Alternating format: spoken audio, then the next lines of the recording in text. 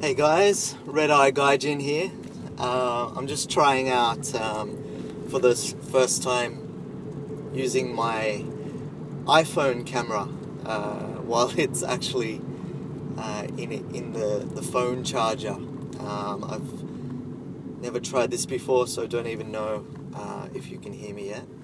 But pretty much uh, what I've been thinking about is, uh, you know, there's so much on YouTube about language learning and you know um, what are the best ways to learn Japanese, what are the shortcuts, and this has been touched on before, but um, I think uh, something that is is probably not um, highlighted as much as it should be is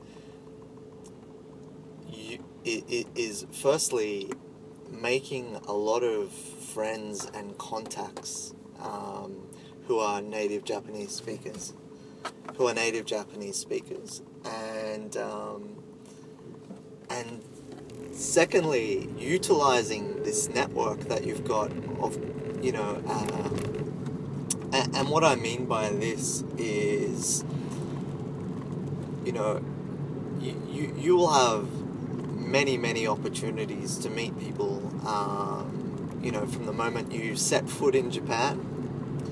Um, and, and, that might be functions to do with your work, uh, just going out on the weekend, um, going out to to try and buy something, and you'll meet people along the way. Um, and, and I think um, you know there are many many occasions where you might exchange email addresses or um, or phone numbers with people, and and you may never act upon the fact that you have a, a way of contacting them again um, because you actually, in the back of your mind, don't expect to meet them again. But um, those type of people are very, very handy or useful when it comes to um, putting into practice Japanese that you're learning from a book and, bringing it to real life. And I think that is key to um, it's it's key to actually remembering and, and learning the language itself. Um, and that that's nothing new. But I think um, my real point is uh, people you meet are valuable um, no matter who they are, as long as they're Japanese, in terms of being able to send emails to them. Um, in Japanese that you've learnt, see what their response is.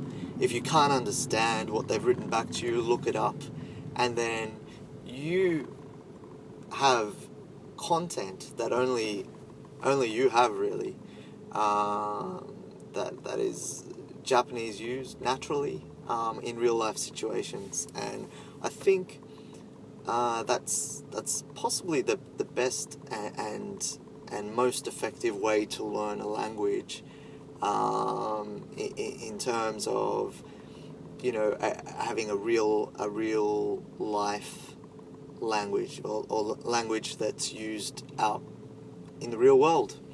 Anyway, um, I hope this video works. Um, sorry if, if the sound and everything is funny and, and you've got this uh, bad angle of me looking up Uh, but um, I, am driving and uh, yeah, just thought I'd give this a try. So let me know if I should never do this again, and uh, I hope this is useful. Okay, Redeye Gaijin, see ya.